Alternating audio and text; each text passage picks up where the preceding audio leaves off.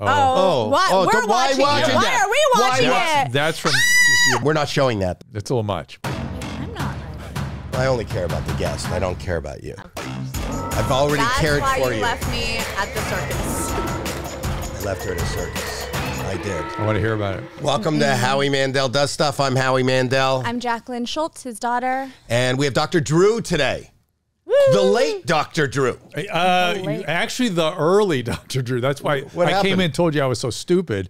I thought somehow it was at noon, and I'm chronically early. I got into this vicinity around 10 minutes to 11 and started driving around looking for, up on Sherman Way, looking for a coffee. Really, for 20 minutes. And then, And then uh, I saw uh, an email from Rich that I'm ready when you are, and I thought, uh oh, I got the time wrong. I know it. So here we are. Sorry. so th- that takes away the word chronically. Yes, it does. It, It does. Mostly early. Yeah. But I- I- sometimes. no, no. I mean, chronically with exceptions, and this is that exception. Here it is. Well, thank you. Sporadically late. Yeah. I what- feel special that we were an exception. Yeah. So uh, you, To you know. I, I hate late. I hate it. I, hate I it? have some OCD stuff myself, and uh, early is part of that. Yeah. Yeah. Well, you well, hopefully you don't. No, no, I do. No, I do. I have some of it, but but but You can't it- have some. I mean, you can't. th- th- That's the thing. I'm. I do a campaign right now, not to argue with you. But Please, not- please. You want me to argue with Yeah, you? yeah. Okay. We're starting off with an Because argument. I, I don't have a diagnosable disorder. I just I said I have some stuff. I'm not. I don't have a disorder. It No, so that's uh, that, that's uh, Yeah. so the stuff that you have would probably be, um, uh, you know, you're Neurosis. a neuro, a, a little neurotic about things being in order and things like that. And I'm on this uh, uh, campaign because people uh, have made OCD part of the vernacular. Yes.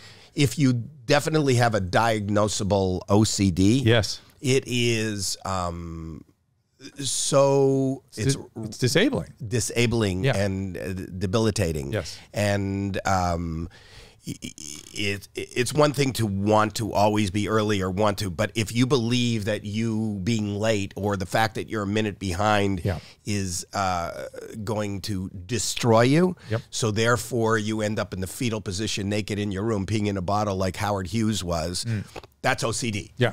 being persnickety about I just always have to be uh, that's who I am and that's that's neurotic and that's Yeah. why that's, I'm not arguing with you but No, I- it, it gives me a good platform to kind of espouse what OCD is and that people should you got to take care of it Yes. you got to you know at least get diagnosed Yes, because listen. So what you're what you're tilting at is something that's happening with many psychiatric disorders, which some of this stuff has entered narcissism, uh, you know, anxiety disorder. This is all entered into the common lexicon now, right? And so people throw and Tom. Sandoval is not a narcissist He's not an. I wasn't when I was on. I was on his podcast. that's what I'm yeah, referring and, to and I was. I didn't have a sense that he was. I mean, you know, that he had a narcissistic disorder. I didn't sense that.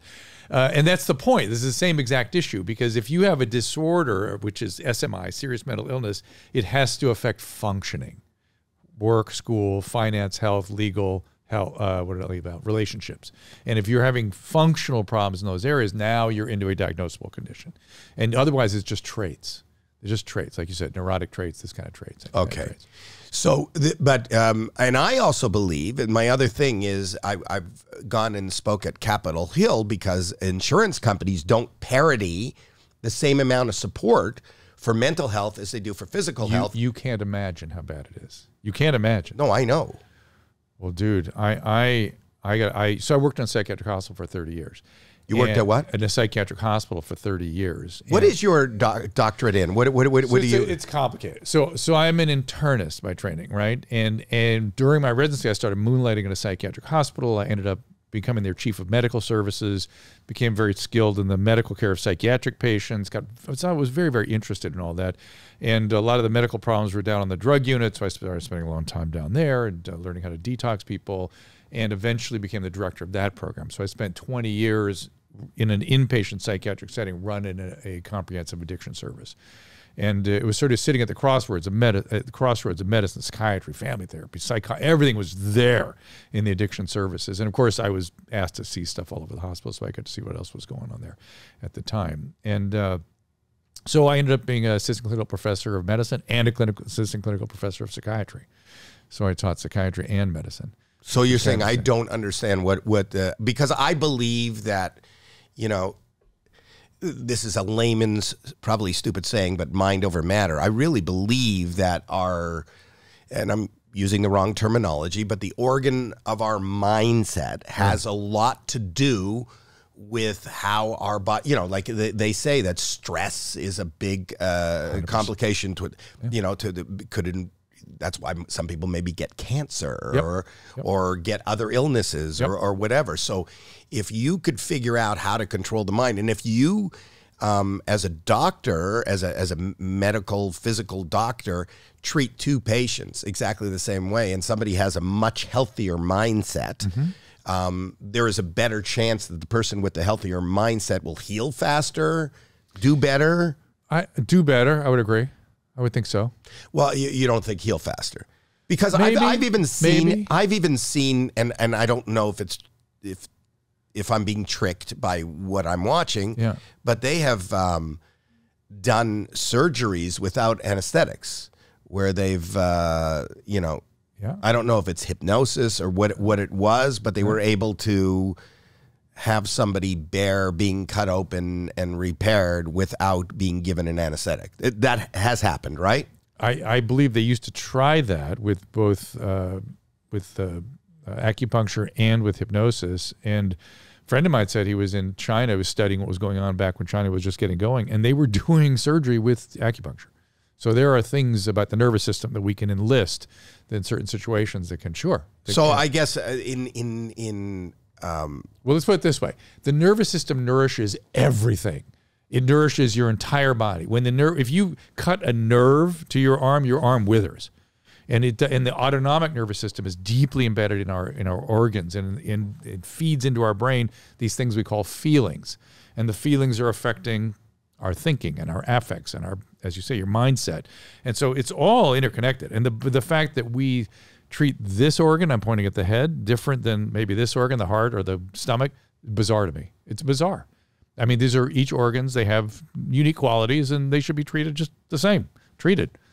except that the the fact is that when um, you know you take an X-ray and you see a broken bone, or you see something going a, a visual of something that's going on, it's much easier to get the insurance company to pay to fix and get rid of that. Yeah. where there is So- no X-ray for my behavior. Well, so what happens is, so this is what I was fighting for years and years. I would I would treat these extremely complicated patients that you know we had a reputation for being able to treat the sickest patients. So if you had multiple, Who's medical- we? Uh, my my program, the the team I built uh, at the Where- psych hospital. where was it? In Pasadena, Las Encinas Hospital. Okay. And if you had seizure disorder and you were, you know, coming off drugs and you had tuberculosis and you had cancer, whatever it was, I, and you were psychotic, we could handle it, no problem.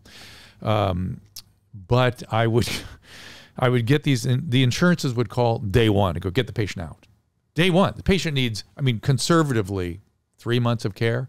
Uh, at least two weeks in an intensive environment to get them stabilized, get them out and you'd end up talking to a clerk or somebody who had some clinical background on the other end going no doesn't meet our criteria doesn't meet our criteria get them out of there. And the game was then the patient would call and complain to the insurance company. They go oh mrs smith we don't uh, they're just dr pinsky has to tell us what what it is you need and we'll be of course we're happy to cover. It. they don't tell the patient is they set their own criteria. The criteria are very arbitrary and have no relationship really with clinical reality. And uh, of course, my patient needed lots of care, multi multi system issue doesn't meet their criteria, psychiatric criteria. If I would use medical jargon, I could scare the shit out of them and they'd keep them in the hospital, even for minor conditions. They go, you know, I hear a hol- holosystolic uh, murmur in the, you know, at the apex, and uh, I think they probably have a chordae tendineae and uh, you know, maybe some ischemia. Uh, keep them in the hospital four more days. Fine, fine, fine. But if I said they're they're coming off heroin, they're in the middle of withdrawal, they're craving, they've never had a sober day in their life, they're uh, a little bit, there might be a depressive disorder there, they're a little bit suicidal, but not actively. They'd go, yeah, yeah, send them home. So what's the answer? The answer is I've been through three waves of so-called parity, which is what you were saying that Yeah. they're really not parity, which is exactly correct. It needs to, so- it's some way, and I don't know how you prevent the abuses of this, but in some fashion, the parity has to be the doctor is of the opinion that the patient needs three more days in the hospital, whether it is medical or psychiatric. And I work on both sides of it. On the medical side and the surgical side, they don't really argue with us. On the psych side, crush everything. just because it's easy. You know, there was a there was a documentary done um, not too long ago. Oh, with the, we were just talking about this last night. Maya Do you know that story? No. It's, is that the documentary? Taking care of Maya. taking care of Maya, and she just won her case. Uh, she just won her case against the hospital for 220 million. But she John came- Hopkins, Yeah, she came in with CRPS, I believe, diagnosed CRPS. which is explain. What? what is C? Uh, You're, you're using it. Tell me what CRPS. I don't What know. is it? Chronic something pain syndrome. Oh, Chron- chronic regional pain syndrome. Yeah. Okay. chronic whatever. regional- She was diagnosed by a specialist. They couldn't afford the specialist anymore. They ended up going to the hospital. The hospital didn't know how to um, help her, and they ended up thinking that it was Munchausen's by proxy, and they separated her from her parents. Then they said that it was fictitious disease. Right, which is CRPS. Sometimes they throw it in there. Yeah. Yeah. So then they and, said she the- doesn't actually and- have it. And the whole don't while, I'm sure they were they were spooling her up on opiates, right? Well, and they went back and they looked, and the hospital was actually, even though they said it wasn't CRPS, um, they were charging the insurance companies Yeah, for treatment of CRPS. Yeah, it's, it's a mess. Yeah. it's a mess. And that was the only way they were able to make the money. So But I don't a know if that has anything to do with what you're. Well, what I'm saying is that the you know it's a two way street. The the uh, the medical community or hospitals or, or pharmaceuticals want to overcharge and make money. It's for profit, and the insurance company wants to make money by charging you for this coverage. But um, I saw a documentary once where they get a um, a stipend for not for being able when when a, a claim comes in Yeah. for finding a reason not not, to yeah it's it's a called a risk pool. They so they hang out as much as they can and give you as little access to as much as they can. And they take a certain percentage right off the top and put it in a bond fund. So it's a mess.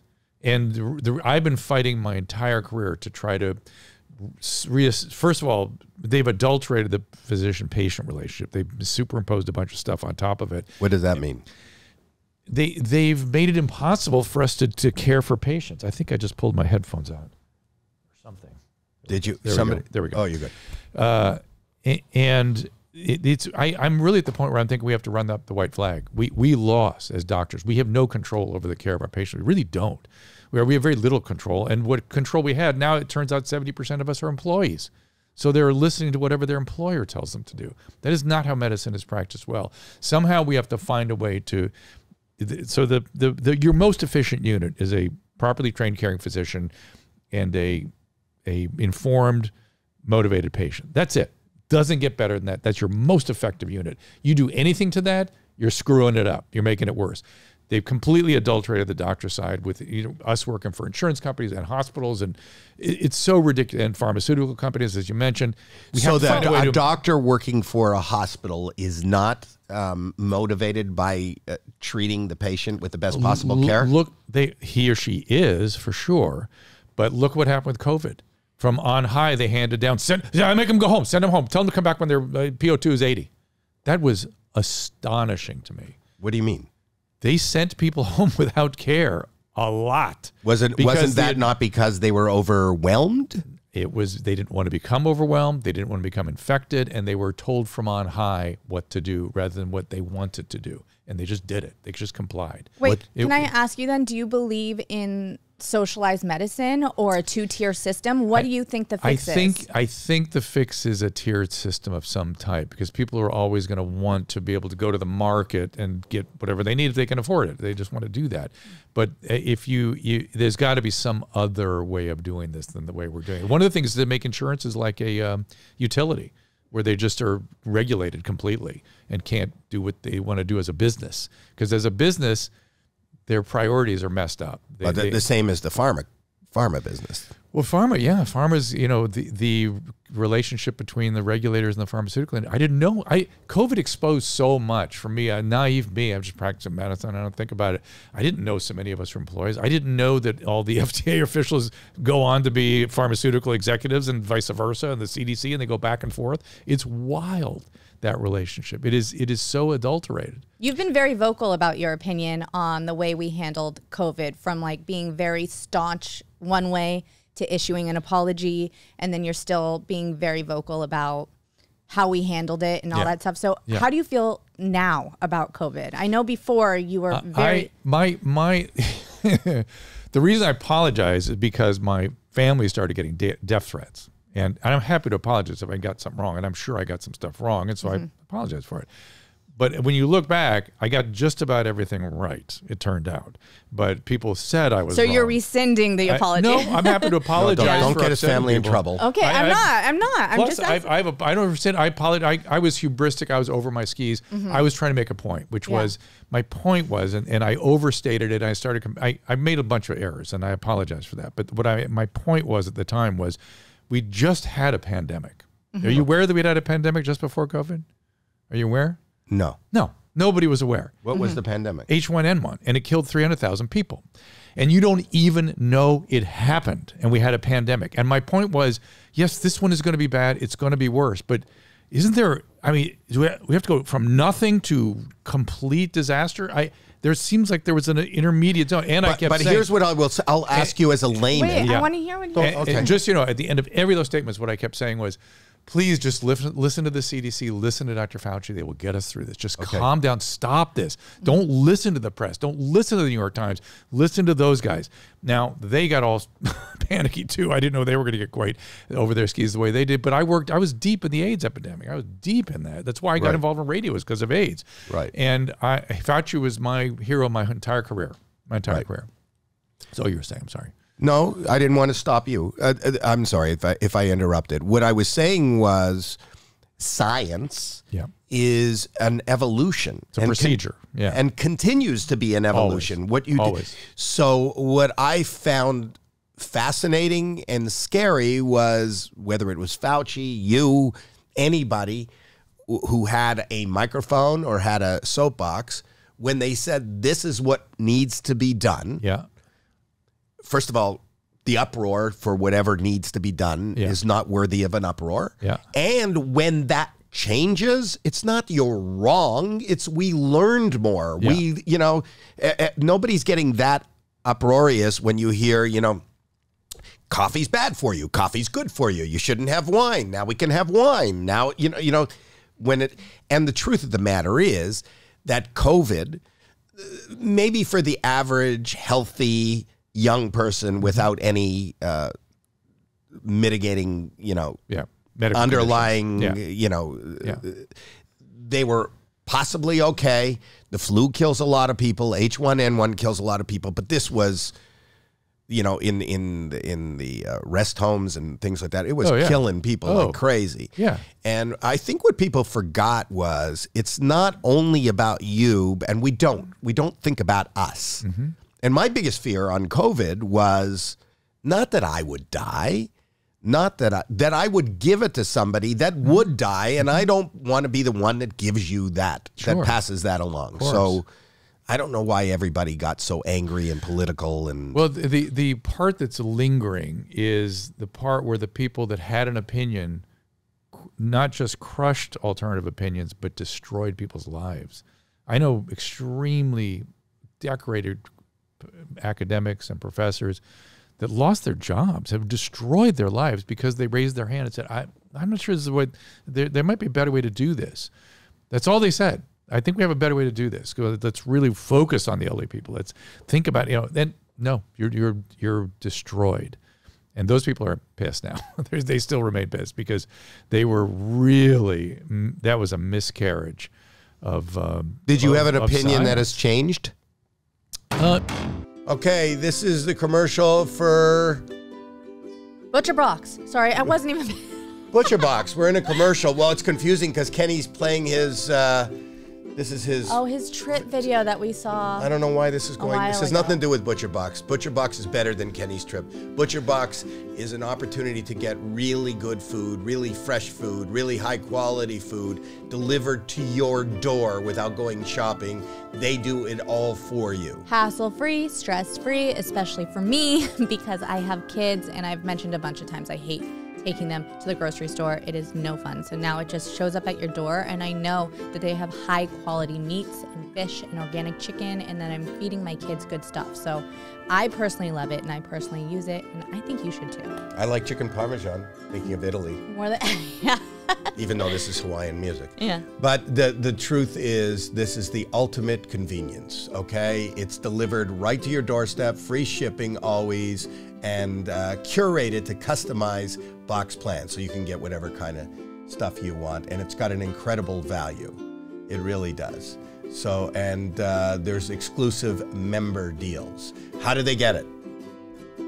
How did they get it? This Black Friday, your search for amazing deals on high quality protein ends with ButcherBox. They're offering their best deal of the year. Choose your free steak for a year. Choose between two New York strip steaks, filet mignons, or ribeyes to get free in every single box for a whole year when you join. For Cyber Week only, you will also get $100 off your membership with $20 off your first five orders. You could sign up today at butcherbox.com slash Howie and use code Howie to choose your free steak for a year and get $100 off. That's butcherbox.com slash Howie and use code Howie to get this special Cyber Week deal just for you. We'll do it. This Hawaiian music is driving me nuts, Kenny. Okay, here's another commercial, and again, Kenny's showing us his vacation Just doesn't video. stop. It doesn't, stop. But you know what I love as much as Kenny's vacation video? What? Uncommon goods. You know, I like it too because you know what you're doing. Not Huh. only th- these are great little things that are kind of like handmade. They're made by real artists. Not just little, there's big things too. no, I know, but it's it, they're creative. Yeah, and you're supporting artists and small independent businesses. I actually got two things from there recently. I got Alex, don't listen, but your birthday present was from there, like a whole whiskey making kit, because I know that he's like a bartender. And I got some holiday gifts. Oh, and I got something really cool for Riley too, my sister. I got this candle that after it burns, then you plant something and it becomes a plant, and she loves it. So there's gadgets, there's art, there's jewelry, there's Stuff so much. kids. And our listeners and viewers get 15% off your next gift. You go to on, uncommongoods.com slash Howie. That's uncommongoods.com slash Howie for 15% off. Don't miss out on this limited time offer. Uncommon Goods. We're all out of the ordinary. See what they did there? Just like his vacation video. It's not ordinary. It's not good. He's special. It's Kenny. Like Kenny. It's special. Okay. Did you have an opinion that has changed? Uh, my opinions change all the time. Yeah, for sure. Just like you're saying, it changed all the time. Uh, I, um, I, I'm. Let's see, how would it have changed? I probably was more concerned about young people in COVID than I should have been, uh, Right. Given the data, I vaccinated everybody aggressively. Um, I, I had an opinion about the way we rolled the vaccine out. I think that was kind of odd and weird, and particularly in California, didn't make sense, and it did not specifically service the people at risk. Uh, and Well, yeah, didn't it? I- oh, didn't they roll it out where the older people were first? We I remember we taking really. It, it was sort of more communities at risk, and it wasn't clear what that should be and who. And it was almost hospital by hospital had different policies. It was Right. very weird, and and frankly, uh, the hospital I was involved with just did a terrible job. And I was running around trying to get the vaccine, and I got COVID trying to get the vaccine. And in any event, the and I was taking care of COVID patients and th- this group that we were trying to protect. Uh, it, the other thing is, you know, I still I vaccinate my elderly patients and I boost them. Right, and I, the benefit is clear to me. It's absolutely clear that we have really we did something extraordinary in terms of protecting the at-risk population. If I'm 25 years old, though, the risk of COVID now is is zero. It's zero point zero zero zero zero zero, maybe one. Risk of myocarditis is one in 800, or maybe one. Let's say one in 5,000, just to be conservative. That's I, the risk reward isn't there. So I don't understand the excesses we're getting into. That's the part that seems again. The, whenever we get into, we really only want to. I'm I'm fascinated by the uproar and the outrage, even on the other side. For example, I have been seen on this podcast hmm. a number of times hmm. deciding to wear a mask for whatever reason. I do have a personal reason with my family that I decide to wear Yeah. a mask at times when hmm. I feel like it's necessary for me. But there's also people that maybe they have OCD and it makes them just feel better to wear a mask, whatever it may, may Yeah. be. And I get the most hateful comments Oh, about just wearing a mask. So it's been demonized and people and politicized so that people So are just crazy. attacking for a simple thing like wearing a mask that doctors have done for decades. Now let's let's talk about masks. So so the the reason we wear a surgical mask is so Mm-hmm. the bacteria in our mouth don't fall into a surgical field. Not so respiratory viruses, which are aerosolized, they get in easy through Mm-hmm. a, through a surgical mask. They just they're completely ineffective. You have to wear an N95 mask, right? Oh, this is an N95. Yeah. Yeah. So if you're going to do it, and they probably get more upset with you for wearing that one because it's a little more obvious, but that's the one you wear, Mm-hmm. and you wear it at you know whenever you're at risk, without exception. Mm-hmm. So if I go in a room with a patient with typically tuberculosis, but that does have some the, the surgical mask does work a little bit for that. Let's say a respiratory pathogen. I go in the patient's room and I'm put on infectious garb. I'm not going to take that mask. I'm not going to lower. I'm going to keep it tight around my nose the entire time. And if I so much as open it up and air escapes from my nostrils and you can see steam forming on my glasses, that's it. That ma- I, that virus gets in. Period. These aerosol viruses just get in through these through these mechanisms. So you have to really wear them just so.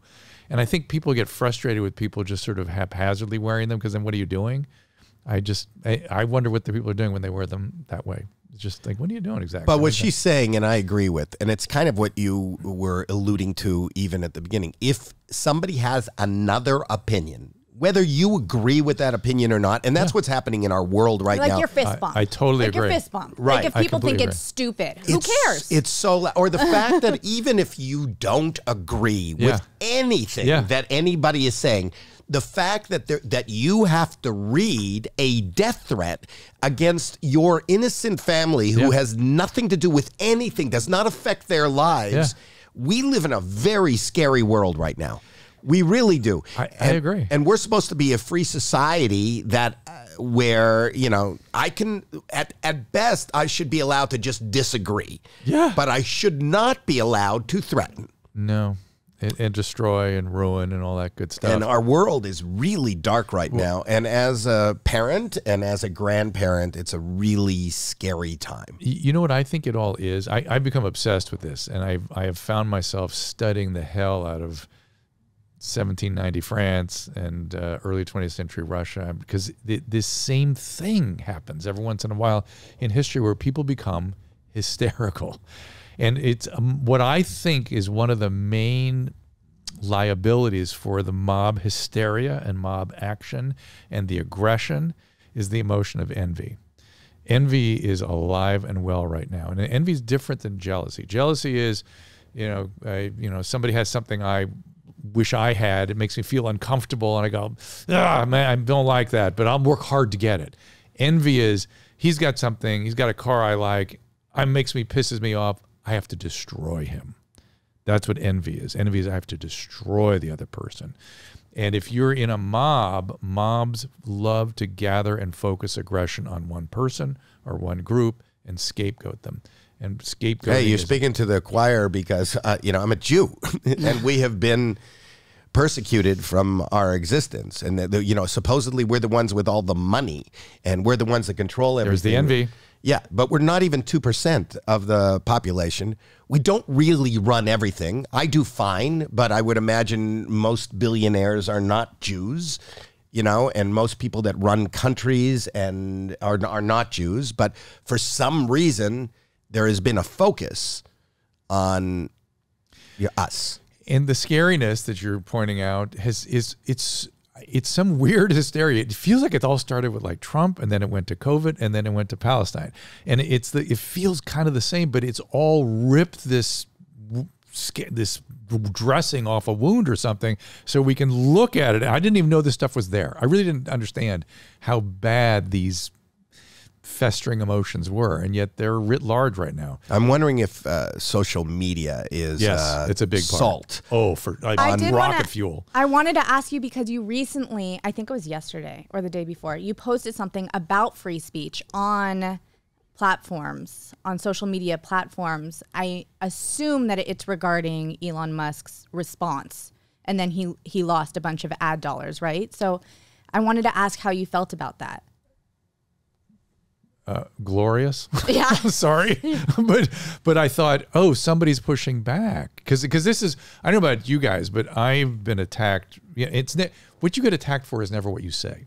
Mm-hmm. It's always what somebody says you said or some manufactured aspect of something you said. It's really never a representation of what you said or did, in my experience, ever. Mm-hmm. And so I knew that whatever happened there, that he it for sure wasn't what really happened the way they reported it. Have you ever heard of Gell-Mann amnesia? No. You know what that is? No. Gell-Mann amnesia. I know Michael Gelman, but I still remember him. This is this is Gell-Mann amnesia is a term that was coined to describe a certain uh, phenomenon.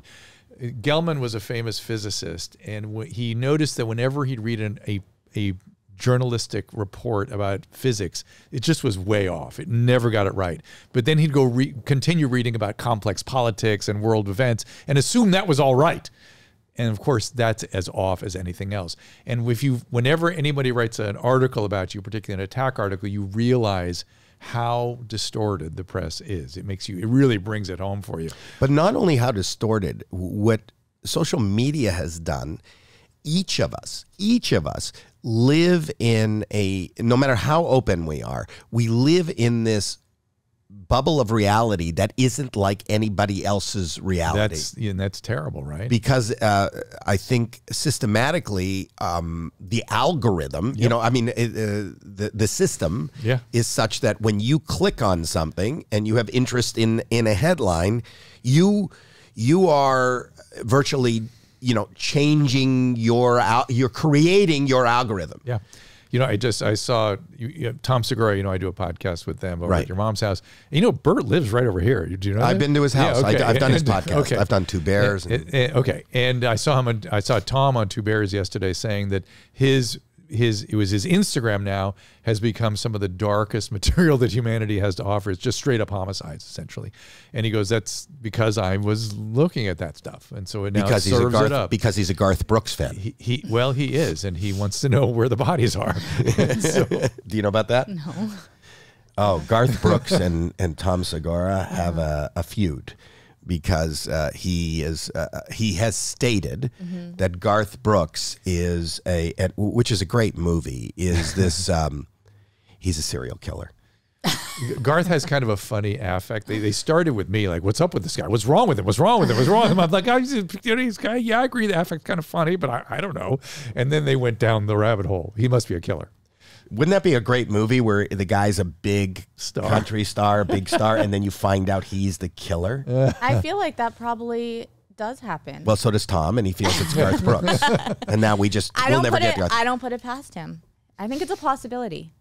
I'm just saying. I, I listen. I've been I, I went working in a psychiatric hospital all those years. I cultivated the word whatever. Yeah. whatever. uh, maybe I don't know. I'm not, I'm not surprised by anything anymore. You're not surprised. What is the most surprising thing you saw in a psychiatric hospital? it's, it's most intriguing uh, in because I saw lots of wild stuff, but on the sort of intriguing, surprising side, I saw a couple of multiple personality disorder patients sort of early in my career where it was it was stunning how different the different person. I literally didn't understand it was the same person till one of the doctors pointed out because oh yeah that was the one you saw a couple days ago and I was like no no no that was a different person.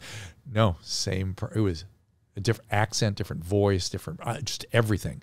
Uh, It's incredible. There have been studies where somebody woke up from like maybe a, a traumatic head injury or something, and they speak another language, Hey, or they come out of it. Has that? Have I, you ever seen that? I can't, I had long COVID, right? Yeah. And uh, I, had, I had a bad case of COVID, and and whoop, whose What? phone? Mine. Somebody's phone. Uh, Uh, this Siri on my phone said, "I figured as much." why is my why am I being Siri interrupted? always answers Always stuff. Interrupts. Look, My Siri, Siri- I did have COVID. I'm glad you figured that out. But I, I had a long COVID syndrome afterwards, and I had this weird sense that if I worked on music, language, or dance, it would clear. It was the strangest feeling, but I thought, well, I don't have patience with piano anymore, and I'm certainly not going to dance. So, I, ah, we're going to Greece in the summer. I'm going to start working on language. And it came unusually easily. And when we got to Greece, people would always stop me and go, Oh my God, your accent is so good. It's so perfect. You and you're speaking Greek. Wait, Weird. COVID. I've never heard that. I, symptom. I do, it may or may not be true. side effect of It- It, may or may not be true. It's all Greek but- to me. But it was a weird experience. Some people for- lose their sense of taste. Some people lose Yeah. their sense of smell. You picked up Greek. Yeah, maybe I should Yeah. try Chinese. That's Yeah. But here's the thing. So if you had that weird vibe, that Yeah. you know, music, dance, or language, Yeah. and you go, I'm not going to do it, but it just happenstance Yeah. that you were traveling and you picked up the language and you go, oh my god, this wasn't just a bizarre feeling. It was something. It was something. It was something. But why? Why it So came let's easily? dance. Why aren't you dancing? I should go do Dancing with the Stars. Was because maybe You that's should. They should hear Let's that. If put you're watching there. Dancing with the Stars okay. next season, my, my shoulders are so messed up. I Would can't you get do my it? hands up. Would you do it? I'm having stem cells into my shoulders in a couple of weeks, and if that Why? works, then I would do it because I've destroyed my shoulders from weightlifting.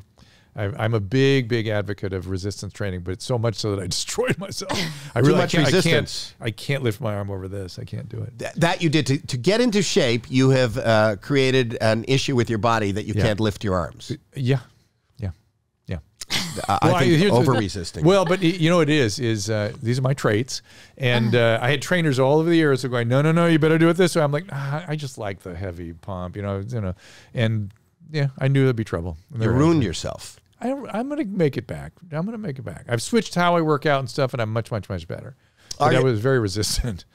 You, uh, what are you What are you promoting now? What are you doing now? You're doing. You have a live stream on your own kind of network. Yes, it's sort of uh, at out of our kids' playroom. My my wife during COVID went, we need to uh, we need to do something here, and she got this idea with my guy that was my webmaster to go to do this live stream to kind of keep people updated on COVID, what was going on, what you're hearing, try to make sense of it for people because people were anxious and confused.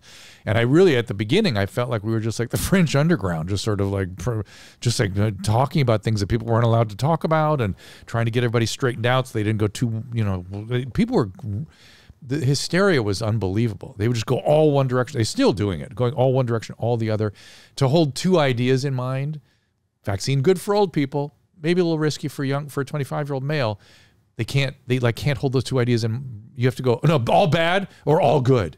It's it's bizarre. Anyway, so that became that, and then we I've started interviewing uh, a lot of professionals and people in this in the particular people who were canceled. That's sort of where I started with doctors and researchers that were canceled because I wanted to hear what they had to say, and I learned something from every one of them, every single one. I learned things from your show. Hmm. I did. In fact, um, You're going to talk about After Dark now? We learned something, something. no. Uh, if you look over there, you see Kyle. You see Yeah. Kyle sitting right there. Yeah, Does he look familiar to you? yeah. I'll show you why. Roll the tape.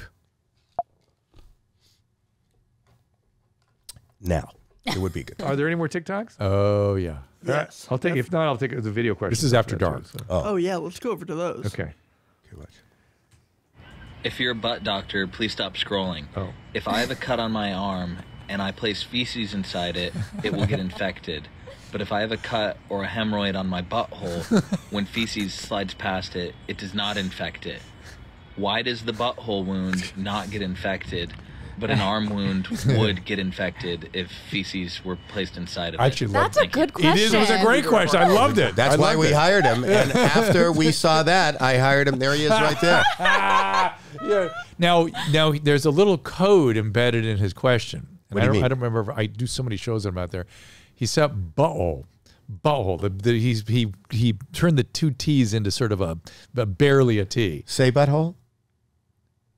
No, we can't hear I- you. We can't hear you. Butthole. Oh, see, he said butthole that time. Did you leave the T's out of the your butt? Not intentionally. Okay, because we've made note that, uh, and we've had many butthole questions over the years on After Dark, and women tend to say the word butthole without the T. They can say butthole. Why? Butthole. I don't know why. It just is the thing. Women and he say said it that way. He's one of the few men I've heard say that way. We have uh, Andrea is in that room. Andrea, could you come to the mic? Andrea? well, now everyone's conscious and aware of it. Well, it. maybe we'll see. No. We'll see. Andrea, could you say butthole?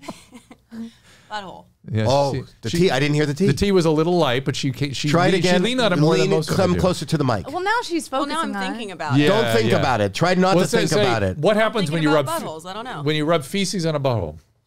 Say that. When I personally rub feces on my butthole, Okay, she said she she said- that was enough she of a said T. T. I, I would have. So anyway, okay. Well, we don't know how. That's So not a she's good a- gauge, she's an- though. she's been listening to this And and, she's she's thinking a- about true. it. I She- feel like that doesn't. she's an orator. Clearly, she has perfect diction and she's erudite, and so she's a bird butthole. Erudite. Erudite. You, you say butthole perfectly. You say butthole. Wow. So she didn't spill her tea. Very talented. right, right. And so, should we answer the question?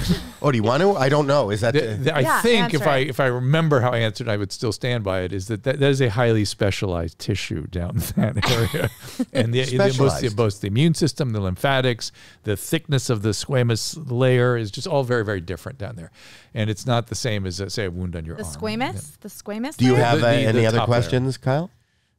yeah. Oh, Um, whoa! Whoa! Follow on. I, I was wondering. So, like, you know, feces. Th- This is going to be your highest rated show, just so you know. It's just Really? getting into this material. Okay. Really? I didn't know. I didn't know. From politics to Mm-hmm. to more politics. Sometimes feces grows things like mushrooms, and if you eat them, you know, you can feel good and you you see colors and you have a good But, time. but that's not. But the mushrooms and the feces, the feces is just the environment for growth. It doesn't affect the hallucinogenic properties of the of the mushroom. Okay, yeah, because if you eat the feces, then you get sick. So I was wondering why you get sick from the feces, but not from those mushrooms. Did, did you the the, fe- the mushrooms don't take up the feces and the bacteria in the feces that make you sick, but most feces, I, I mean, they don't. Did you throw up after taking a, a, a feces infected uh, mushroom once? No, Or not, did you not from the mushrooms. Did you know somebody to take a? You, or you just think if you were to eat the feces, you'd get sick. You worried about that? You know that. No, feces. Okay, feces. You know, you you're going to be disgusted and have a you might have a reaction to it in the what's called the chemoreceptor trigger zone of the brain, where it just causes an emission, but it's not because it makes you ill. Okay, the, for the feces to make you ill, it has to have something infectious in it. Uh, like E. coli or Salmonella or Shigella or something or viruses. So what you're saying is you can eat clean shit. You can eat shit. Y- y- you well it's oh man you are getting into this after dark territory you you want to go it? all the way mm-hmm. You can eat shit. W- well because people engage in sexual practices butthole play where Why did the- you point to me? because you said the word Why did you said the point to my daughter? she said the word she When you say butthole She play, you don't ahead of me. point at me, not my daughter. And people put their put their mouths there and they don't get ill but there are if you but but worldwide oral fecal transmission of infectious diseases is the leading cause of infectious disease and death worldwide it's just we don't So have a lot of that stuff here So it didn't come from. It came from when they. s- COVID oh. did it come from our ass? so No. if you're going to eat poop or someone's butthole, you do it here in the U.S. did you how, hear how she said it You didn't use the T. I didn't. no did you hear it play it back can you play it back Play it. Butthole, butthole, butthole, butthole. Swear to god there's something here All right. or not. Uh, There was no T. But I was gonna say you should do it in the U.S. is what you're saying. Don't Yes, go or in world, Western Europe, yeah. Speaking of uh, butthole, I don't know that you got if, if you're aware of Mm-hmm. this, but I almost got canceled about a year and a half ago, uh-oh and uh, I got to the club it's so fun But I posted a picture. I posted a picture. It's above the the thing there. I didn't know what this is like in the midst of uh, COVID. I saw this picture, did not know, did not recognize what it was. i don't either Good. So a doctor doesn't. Yeah. I rest my case. I posted it. Why are there it so turns many out people that it's a, do? a prolapsed anus. oh yes it is Well, see, they didn't know but that. I, I, I, it looked like to me that that thing that's the prolapse just looked like a cerebral hemisphere, like a brain. Oh, he thought it was a cupcake. I love that you don't know your brain from uh, your asshole. Oh, it's so good. No, but, but so I didn't know what it was. My son, who is sitting right there, called me, uh, you know, an hour panic. later and said, "Dad, uh, you've posted something on TikTok. It's got it's trending worldwide. Take it down." I lost a couple of sponsors, and Oh, I I'm got sorry about this, tr- one, but you should have been celebrated why? Why? Because you were first of all. You were celebrated on H3. You were celebrated Yeah. in You know one H3, you know place. Ethan? I do. I've been many times in there. Yeah, Yeah. and and I used to try to make help Ethan understand uh, Trisha, but uh, which when they were together when it was the Mm-hmm. frenemies thing. Uh, but I think the a you're you're goofing around and Mm-hmm. you did something naive and it should, and if people actually cared about what you were doing, they should just go, hey hey. Come on, Howie. Let me help you. This did you know that that's probably as opposed to, oh, the outrage. We have this. We have grandiose outrage and grandiose caring right now, and that is not actually caring. That's just expressing your need to be seen and heard, which is a narcissistic. But impulse. it trended worldwide. and for you should have said, you know, been mea culpa, and it should have been a good joke, which is you're a comedian. It's funny. Oh, well, I wasn't even. You I just were- said as a COVID related. I just didn't know if it what, what it was. I thought it was a cupcake. No, I want to show you. Funnier. I will post this picture right now. Show them the squirrel. I have a squirrel. It's even funny. Okay, Oh, so boy. there's there's a squirrel. I that don't think, looks- are you allowed to post that? It's a That's squirrel. A It's little not- more like it's a not my pro- friend. prolapse. Do you talk about this stuff all the time on this show? I think feel like I'm in a new territory. a little haven't watched our show. I, not You're lately. not a fan. I, I watch a lot of you know, pieces of it. I guess I've not gotten to the part where the anal prolapse comes in. Well, it's not a, it's not a big part. Mostly that it's just to keep our minds off the fact that I left her at the circus. But anyway, this is a squirrel with a prolapsed anus. It looks like it. Yeah, it is. So I want to know. Like, here's what I want to know, and I'm asking you as a doctor. Yes. I went on Ethan's show. I went on H3 and he was very uh, uh, you know excited to talk to me about this. He let it run much longer than I would have let it run the whole prolapse thing. I was trying to forget it. Yeah. And then he brought on this guy, Hunger. What's that guy's name? What's the guy's name? Do you guys remember his name? No one. No. Okay. Good. I'm glad that my staff is so well. But I didn't realize that there is a sexual community There's a there's a there's a line of preference, I guess. Yeah. There's a where people can actually, and I don't know that this is not i- i- it taken up in the squirrel community, where uh, they can actually do this. Yes. It's not a problem. Yes. Where you can turn yourself inside out and enjoy it. Yeah. There, there. I've seen that. Uh, your mom's Where- house is it's your mom's house. They they've gone At way. my mom's house. no, no, no.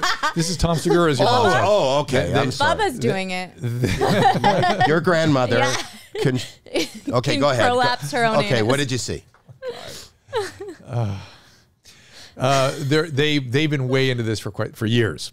Oh, so I'm Uh, I'm and- behind. no pun intended. Yeah, and they've they like to show me things that make me ashamed and feel bad, and th- this that was a whole not. line that they. are you ashamed of seeing a The squirrel? stuff that they showed me that was pretty extreme. no, this is for the children. And I when, I squirrels see do that, it, it's nuts. But here's my thing. When I see that, I don't know about squirrel rectums, but when I see adult, you know, male and female with that induce that, I just think that person's going to have a. I'm not a colorectal surgeon, but I have sent people to surgery for that many times. But w- f- when you say for that, Yeah. the up until I did Ethan's show, Yeah. this was explained to me like a problem where you know His you're. is Hunger. Pardon me. His name is Hunger. Oh, just hunger. Hunger. Um, it, it, it was explained to me as a problem where your your your innards are falling out. Correct. As you get older, again, women particularly, they get prolapse of their vagina, of their uterus, and sometimes of the anus and the rectum. And when the rectum falls through, like Yeah. the people like doing in this line Right. of, of uh, practice, it can cut off its own blood supply. It can sort of. It's coming through a small. What are you opening. doing with your fists? I'm showing an anus as with a prolapse oh, through Oh, it, and okay. it, it, and it. Is that the anus right this there? is the anus. This also. Can we sh- zoom in on the anus? ready? So right. It's oh. also Senor Francis. He has an accent. Do it because we're zooming the in on it. anus has an accent. It's all right. Okay. Wow. Okay, go ahead. You can speak with your ass. I, I'm just saying, Señor Wences. It's, it's the, Uh, you yeah, know I- Señor Wences. You're a my comedian. age, I yeah, know, yeah, right. Me okay, too. yeah. That I- so, um, it, it were. I always think, oh my God, if these people are not going to need an emergency surgery because of ischemia of the region, because of blood supply issues, eventually they're going to end up with a big surgery. These are big surgeries. They're not fun. But people are doing it. He so he brought this guy Hunger on the show. I know. Who, as a you know, I know they're doing it. Did he make you do it? Did he do it for you in person? he went one, two, three. Like I, I was a judge not on in America's person, Got Talent. Not in person. On it was on a video. Oh, Oh. oh. what? Oh, We're so why watching, watching. Why are we watching watch- it? That's from just your mom's house, right? Or is that what, What? he did? That's not my mom's house. Stop saying my But mom's how about house. the fact that this could be a line of talent for America's Got Talent? That's oh, you mentioned that. That all blew Oh. my mind. yeah. but why? How do you? w- The, Oh, your daughter's people are, quite serious about this. Yeah. She's They should have on OnlyFans America's Got Talent no, where people could do that. No, no. We just saw something, Jackelyn, and I'm sure Jackelyn, Jeremy did that. Jackelyn. Jeremy, did you do that? no, no. Hang on. Use that uh-huh. mind for good, please. Just use that mind for good, please. I can't hear you, Jeremy. Not for me, That was my but I do. bootleg footage from Ethan's birthday. Ethan's birthday. Yeah. yeah, so he had that on. We're not showing that though. It's a little much, but that's No. the stuff that your mom's house shows. That kind of stuff all the time. To you. To me, and goes, "What do you think?" Yeah. But, but? I'm not asking you what you think. No, I what know. I'm saying is because I know what I think. It's it's it seems wrong. Uh, don't don't yuck someone's yum. Yeah, There's yeah. no yum. Don't in that. judge. Let's do it non-judgmentally. Let's not judge. Non-judgmentally. It I am a judge. It's see, keep Jackie, put- keep going down that path. You you might you might have something here. Can you imagine if you're long COVID at the end of it, you go, I can learn languages, and I can do that. No, thank you. You can prolapse on command. What, what if he tried? Yeah. You never you don't know until you try. But ever since I saw that, I've been. Um, I'm going to be honest. You've been well, trying? no, I've been afraid. Like uh, When you I, take a when you have bowel movement, you're afraid I almost, I've almost become constipated because I don't want to push. it's not going to happen. No, it's not going to happen. How do you know? You said it It- when you're it- older. I don't uh, want that to happen. it- I don't want to be on H three with that talent. It, it, ma- Even though I'm- males tend to be, have more musculature in that area, so it really doesn't happen. So uh, me. from pushing those were males. doesn't happen from pushing when during a bowel move. It happens from more active sorts of things happening. Okay. M- m- much larger things coming through. And Can I change out. topic for a second? I Oh, did want to ask dear you God, about yes. something. Go ahead. okay. AI, because Mm-hmm. you mentioned AI. Are you nervous about AI taking over the I, medical I field? interviewed a guy yesterday who was uh, worried about transhumanism, and I, I I found myself not that worried about it. I, I oh, I thought you took the stand. I just gauged based on your. The headline. there. Yeah. yeah, that's people put the headlines. I, I don't. Mm-mm. You have I- a lot of headlines. I know. I know. Put up a Dr. Drew headline. Tell No, me, explain but I don't this. write them. I don't write them. What is this about? What is that? What is this about? Dr. Drew says building climate change resistance is existential for St. Kitts and Nevis. Why do you care about? Is that the Caribbean? I've never seen that in my life. Never, and I don't. I Is it don't the even- wrong Dr. Drew? It must be. it must be. Oh, Maybe it's this Dr. Drew. That's, That's Drew the Carey. That's Drew Carey. Who's that? Dr. Drew says building climate change resistance is existential for St. Kitts and Nevis. Isn't that interesting? And I'm sure somebody attributed that to me. Is that Dr. Drew? Dr. Drew? Drew gives nursing students master class in resuscitation. Not. Dr. Drew. Oh wait, that's a different He's a little, yeah. Dr. Drew on job creation and crime. That is not Dr. That's not the right Dr. Drew, Dad. Do you know that Dr. Drew is the prime minister of St. Kitts? Ah, that explains it. Now I know. Good for. I'm. I'm happy to share that. So name when with you took when you took that position as the prime minister of St. Kitts, do you we want do our homework here. do you want to take a more uh, uh, a medical question? Calls? whatever or- you guys. what- I'm at your service. Uh, uh, it says we can even do. oh, Have you ever seen? You said you've watched a little bit. Have you? Uh, do you know who Lou is? In there, yeah. You do. I mean, I not well, but here he comes. A moment with Lou. Play.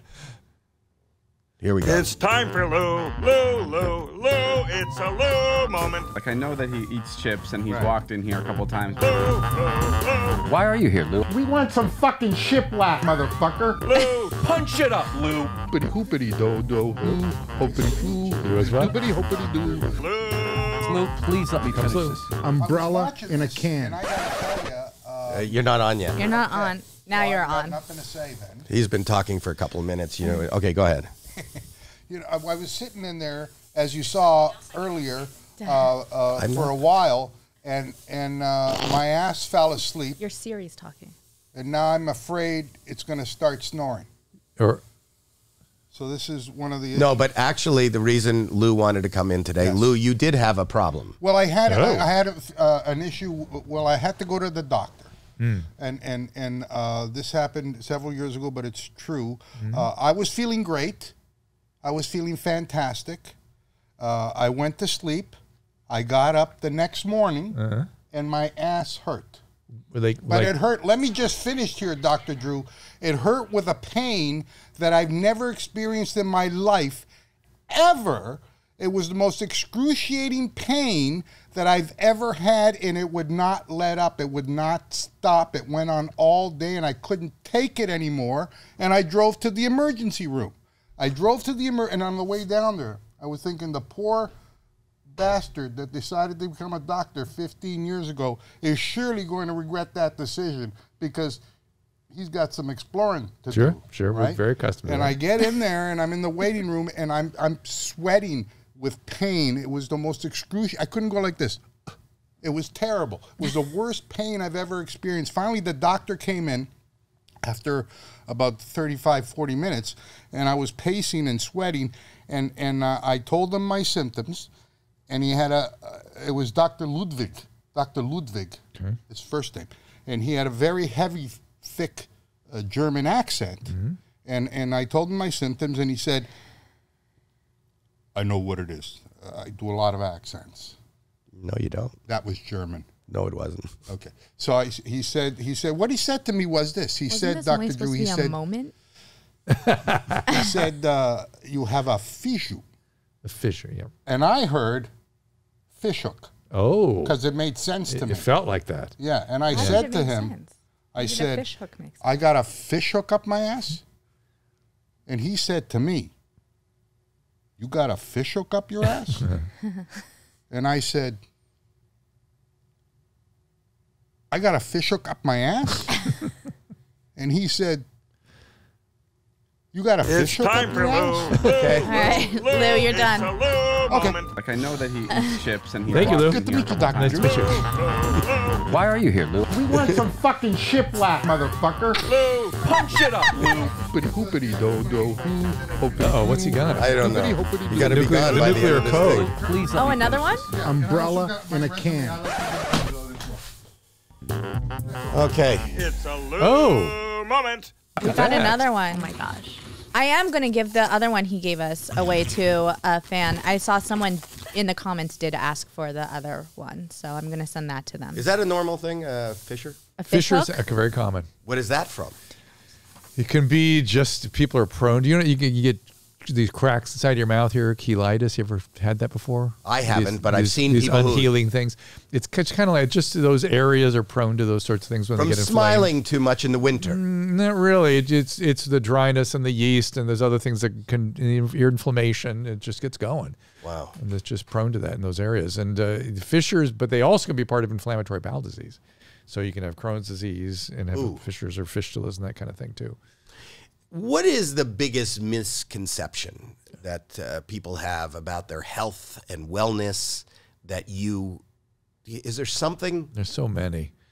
There's so there's so many. I the one thing Lou just gave gave an example of because pa- patients come in with their story and they want to tell their whole story, and doctors often need only about five percent of the story, and then we have to kind of zero in on some questions we need answered. Like Drew said, Lou said, "I'm gonna tell, I gotta tell you my story." I would have asked, you know, where is it, how long, what quality of pain, anything make it worse, anything make it better. That's much more important than that Lou was miserable all day. As much as it's terrible that Lou was miserable all day, pa- patients have misconceptions about what. That's why we sort of will interrupt, start going, no, no, I need to, I need to hear this.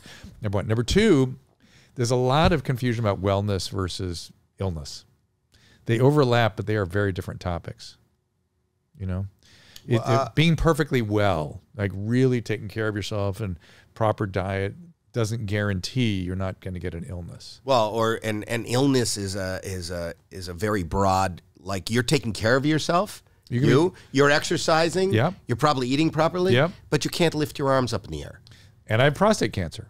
And then it Oh, do nothing. you do? Yeah, I, and I had a prostatectomy. I'm 10 years post, 12 years post prostatectomy, and uh, Oh, I'm sorry. it's But- and in my good? family, and I'm good. And it's I've got Lynch syndrome, which puts me also at risk of uh, my DNA repair. It's a Jewish thing, also Ashkenazi Jew thing. The our DNA repair uh, mechanisms aren't so great, and so we're prone to certain GI tumors and things. So I have to get colonoscopies every year. But none of that. I mean, certainly my wellness practices helps, but doesn't guarantee much. I get a lot of colonoscopies too. Uh, What do you think I of that I feel like your Cologuard? doctor likes doing it. You get more colonoscopies than I know anyone I just else. love. Uh, Yeah. I just love picture like- taking. and you like you like the. Uh, I do like the, The prostate being exam. put under. Is- no, not the.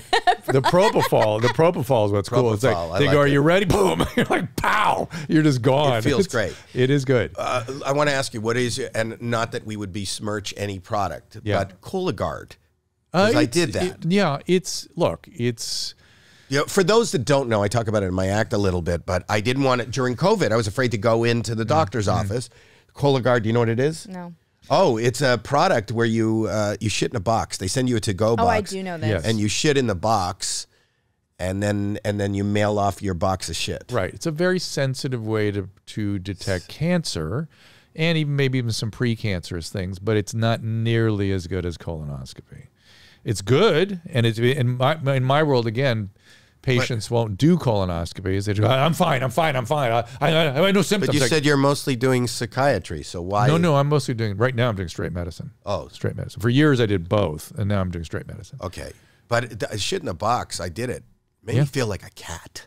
I felt Yeah. like a cat. It is like a litter box. Yeah. Yeah, it is. And I do. I, I ordered a ton of them, so I have them all over the house. I I I think I look. No one should get colon cancer today. Really, I, or should be exceedingly rare because of screening instruments like that and the colonoscopies. I mean, just people should do them religiously. And then they back to our insurance conversation. They get into: is it cost effective? Is it enough? How, how often should people get this? And people should be at their liberty to decide with their doctor how often they want to get it. Like I said, I have Lynch, and they're happy to pay for it every year for me because I'm really at risk, and they don't want me to get the colon cancer because that would cost them a bunch of money. Yeah, knowing that. Okay, go ahead. I saw a ton of people now are also doing those full body MRIs Yeah. or scans. Waste. To, you think that's a waste? You you get literally almost nothing. Look, the anatomy is one little piece of the story of medicine. Why do you think we do blood work and do all kinds of tests on what's happening, what the bio, actual biology is? Medicine is a, is a biological practice.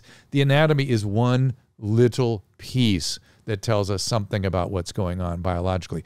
The only thing you can't detect uh, by other means, much less expensive, actually much more where we know what we're doing and what we're predicting things like coronary calcium screens and a physical examination and you know treadmill testing. These we know what we're doing with these things. You see some coronary activity on a, on a full body mri scan you're going to go up on a treadmill anyway. Mm-hmm. The only two things i can think of that you can detect in a whole body mri that you cannot necessarily detect any other way would be an early brain tumor and an early kidney tumor. That's it. Those are the only two things. And you'd have to get those scans really, God, every couple of years to keep screening for those two things that are very rare. So, um, listen, keep doing the good work. I think you've you've uh, treaded on, uh, you know, and and I think it's the, it's this weight of or this balance of medicine and broadcasting, you know, that opens you up more.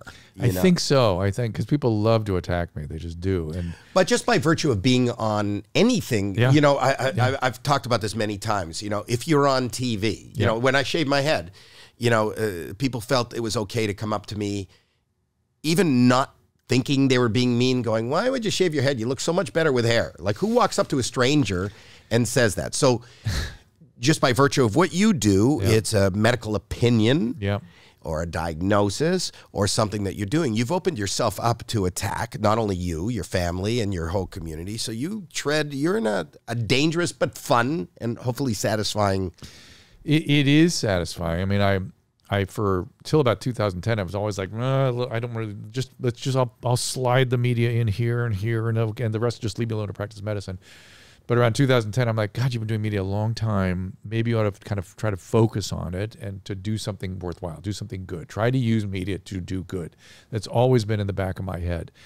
And so I've been doing more, f- more of it. Uh, I got to say, the attacks are about the same, either way. If you're out there, you've opened a door. Yeah. There's no such thing as not. Well, Yeah. I always listen to you. You know, people ask him like he's you're very open about being on medications. He will never say what medications he's on Mm. because he feels like whatever works for him might not work Oh, for someone course, else and you have to go to a medical professional. Yes. So you putting yourself out there and giving advice that people then take seriously or decide to take your advice without ever going and getting checked out or going to their doctor. Mm, we never do that. I- Never. I, I, I always say, in cases like this, here's how it- it's approached. Yeah. Now go see your doctor. This is not medicine. This is not. You know, people come up to me all the time Mm-hmm. and ask me these extremely complicated psychiatric questions on the street, Mm-hmm. and literally the thought bubble over my head is, if I had a team of people, we, we'd make some progress in about five years, and they want fix me now. Right. And it's like no, that's just not that's not how this works. It's not how people work.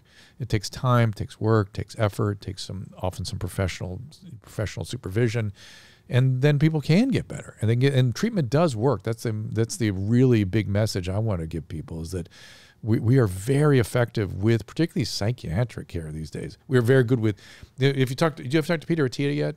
No. He, he's talking about medicine 3.0. He's like, you know, we medicine uh, 1.0 was essentially religion and evil humors, and 2.0 was essentially post the bacterial understanding and some surgical interventions. And he thinks 3.0 is about living long well. And how do we? Because we really we we do so well with most things in terms of preventing things, in terms of treating things. We do a very good job with that, and it's really about living well as long as possible. And part of that is living well psychologically, philosophically, spiritually. And I and and we, as you've said a couple times during this show today, we live in a time of some spiritual malady. There's something. It's angry out there and it's dark Yeah. out there. And listen, I, I, I, having this opportunity, the fact, first of all, thank you for coming on. Pleasure. Has kind of opened my eyes more to who you are, not just what you're about or what you say. And I, I think your intentions seem to be always in the right place. Just- How they're received Yeah. is anybody's. I can't control that, but you know, I've had this incredible experience. Both, I, I had an experience that doctors aren't actually allowed to have anymore, like because now you're either a hospital intern, you're a, you're a you're an intensivist, or you're a hospitalist, or you're an outpatient medical doctor, or you're a psychiatrist, or you're an addiction medicine doctor. I did all of that simultaneously for about 20 years. And so it's given me this extremely broad understanding of the human experience. And I'm just so grateful for it. I just want to give it back as much as I can What are your kids doing? Different things. You know, one's Not in medicine? no, one, one's going to go into psychology though. He's sort of wants to be a therapist type. Okay. Uh, and my daughter's interested in this area, but she's a writer, and my lo- uh, son's a lawyer. So Great. doing different stuff. They're triplets. I had triplets.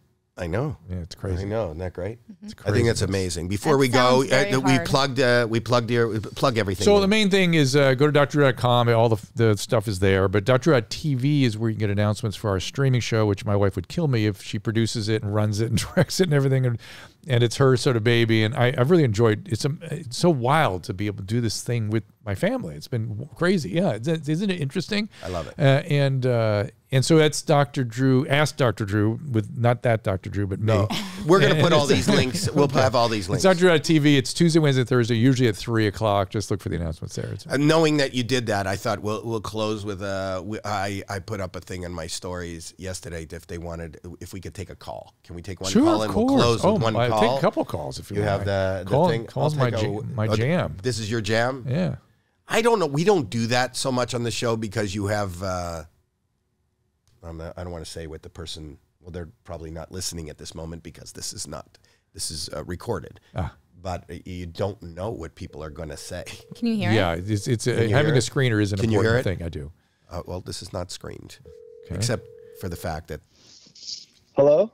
Hello. Um, this is uh, how Howie Mandel does stuff. It's the podcast. You obviously wanted to call in because today's guest is Dr. Drew.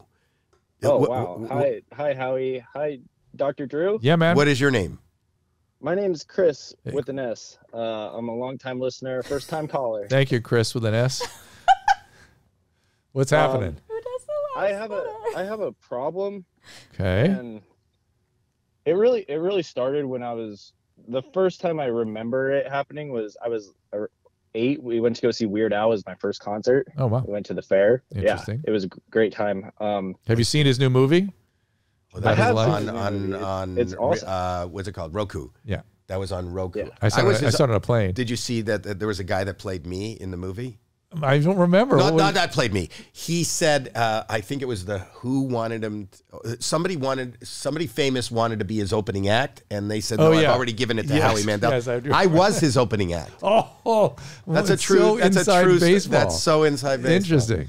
Anyway, uh, A lot I of the forgot lot, a lot of inside stuff was going on, and I was trying to keep up with some of his, even who he casted in different things and stuff was very interesting. Yeah, that was a really good movie. I you know thought him? so too. We had I- him. We had him on this podcast. I don't think I've ever met him. I don't think I have. Oh well, go check Yeah. out it. Uh, uh, go check out the episode with uh, Dr. Drew. Anyway, Okay, uh, Chris you with have an a- S. Chris with an S. What's happening? What happened after Yeah. Weird Al?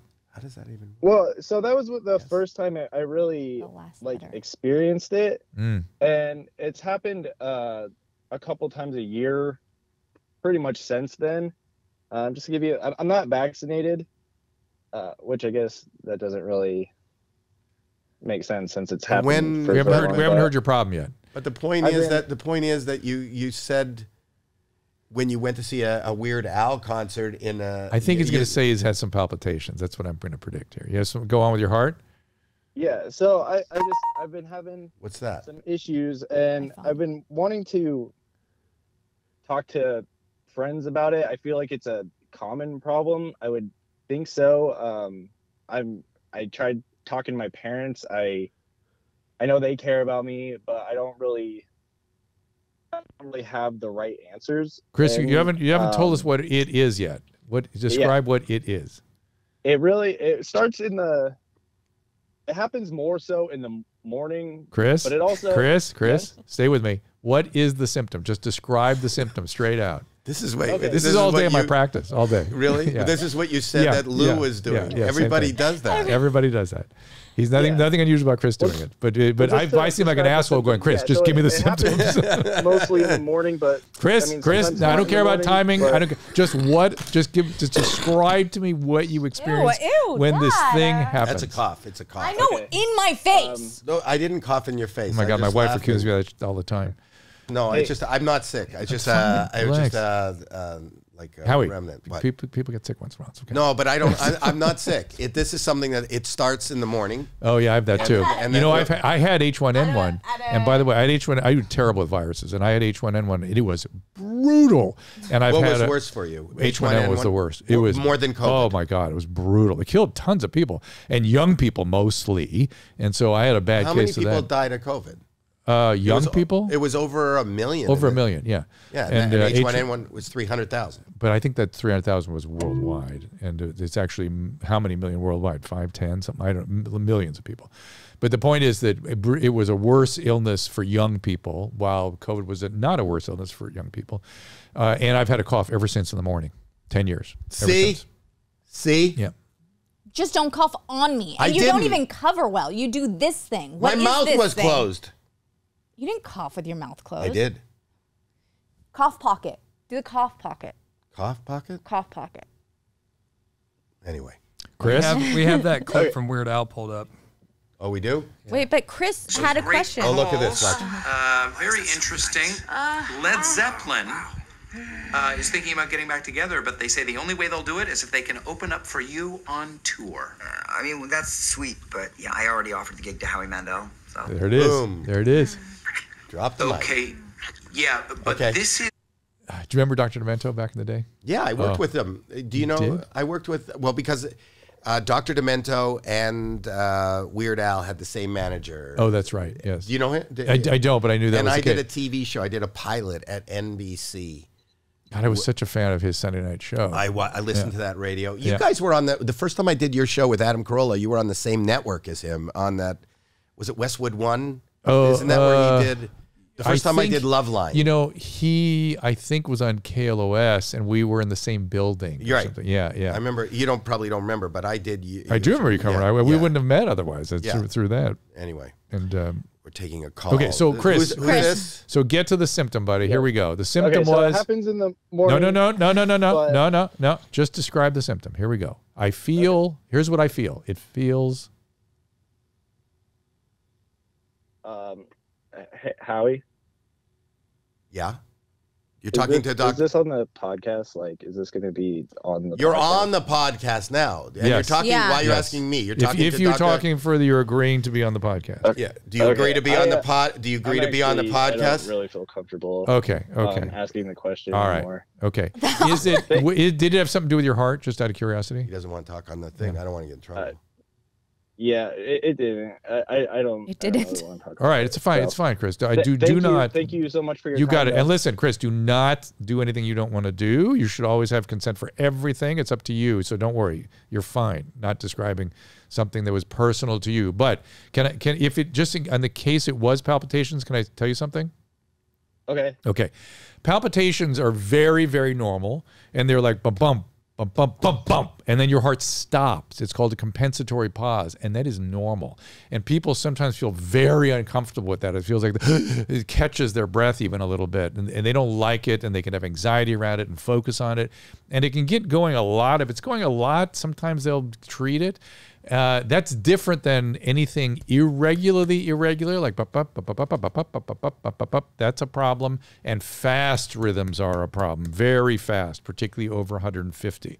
That's when you really want to see a doctor for sure. And we live in a strange time when uh, pal- just palpitations generally we could kind of dismiss in young people, but both COVID and in young males, the vaccine have sort of made it a different issue. And now we evaluate it a little more carefully because it I can be have associated AFib, with. not from the c- co- not from the vaccine. Yeah. Does, Is it? Is it? Does that usually happen in the morning? Um, it, it, it, it, you know, can happen. It, it, it can have patterns to it. You know, Are you? Is your issue heart palpitation? Well, that, he doesn't want to talk about it. Don't make him talk about it. But he said But no yes or no? No. Okay. Anyway, so we gave a little treatise on heart palpitations. So there you go. Well, thank you for But, your it, call, but, it but it is important to point out that we used to really just go, eh, normal heart, no big deal. But now COVID and vaccine, both in young males, we have to take it a lot more seriously because COVID causes a problem on the heart too. When I, when I had COVID, I was sick as hell. I was climbing up some stairs, 102 degree fever. I was taking my pulse, and I go, my pulse is 58, 60. This thing is affecting the heart for sure. I, I knew right then that it had Climbing cardiac- stairs with sixty. and 102 fever. My my pulse should have been 110, and it was 58, 60, and I thought, oh yeah, this is myocarditis for sure. Which is you know, I'd hate to be a doctor that I can sit there and bother. I'd love ignorance Diagnose is bliss. yourself? Yeah, ignorance is bliss. Chris, did you get an answer to anything? I, I feel really good about my call. good. Okay. That's how we want you to feel. We want you to f- feel leaving well. You reacted right when I said I have prostate cancer. Wait, you had bye? a you had a f- powerful Bye. reaction. Yeah, I did. Bye, All right, Chris. good. I didn't. Goodbye. I, Thank you for I didn't know, and You're I, welcome. If you I if you got if you got to get prostate if you got to get a cancer, that's the one to get. That's the one. you don't And- have to get it, but well, eh. how are you diagnosed? Just a regular Uh, checkup? A really interesting story. When I had H1N1, I was so toxic. My wife, uh, when I recovered, was like, "Well, that wasn't normal. Something's wrong with you." And I went, "No, I had, I had an infectious disease doctor following me. It was H1N1. It's a terrible illness. I, you know, it's horrible." She goes, "No, no, no. I'm gonna make an appointment for you for a physical." So she makes an appointment. With, I, before that, I was seeing cardiologists and pulmonologists and things when I needed to, that kind of thing. And I go in and he goes, Oh, you know, I was always monitoring my cholesterol and my PSA and all these things. And uh, he goes, Oh, your PSA went from a one to a four this year. And I was like, Yeah, well, hmm, interesting. I bet it'll go back down. Let me let me come back in six months. We'll test it again. He goes, Nah, I didn't feel comfortable. I go, Look, one of the worst things for you too is for doctors to treat special people specially. That's how you get bad care. If your doctor is in any way changed in his or her approach to you because you're a public person, change doctors immediately. You need to be treated with the standard of care just like everybody else because it adulterates our, our decision making if we're not doing what we do always the same way, uh, the way we know how to do it. So I accused him of of because I was a peer and he knew who I was, and I was like, ah, "You're come on, you're you're being too aggressive." No, I'm not. Just see a urologist. I go see the urologist. He goes, Yeah, you probably shouldn't be here. He- You're right. But here, take these antibiotics, these anti inflammatories for a couple weeks. We'll recheck your PSA. Doesn't come down. He goes, eh, yeah, yeah, let's do it again. More antibiotics, more, more anti inflammatories. Still doesn't come down. And he goes, Well, by the book, I have to biopsy you. And I'm like, God damn it. You see what happens? You see what happens when you're too aggressive? Now I'm ending up with a biopsy. I, I should have come back in six months, had my PSA retested, and we could talk about it then. Biopsy, cancer. I was like, oh my God. There's a great case study for doctors using their judgment, right? Uh, I'll buy the books. I could have come back in six months or 12 months and been retested, but it was their, they had an instinct, a judgment that something was not right. And that's why you go to the doctor for their judgment, for making the right call in the right situation. I was afraid they were being a little too aggressive because of, you know, they were nervous He or saved whatever. your life. They, they, you know, I was diagnosed very early. I went on active surveillance after that for a few years, uh, where I was biopsied every few months, every six months, which was a joy. Uh, and then it's, I, my grade was always kind of low, but it started, the volume expanded. And they were like, all right, take it out. That was that. It's good Uh, times. well, just stay healthy. We need you. that is the plan, my friend. How old are you? I'm 65. Ah, you're just a kid. Yeah. I'm going to be 68 next week. Didn't, didn't you feel different at 65? Is that where you felt? I felt tall for my age.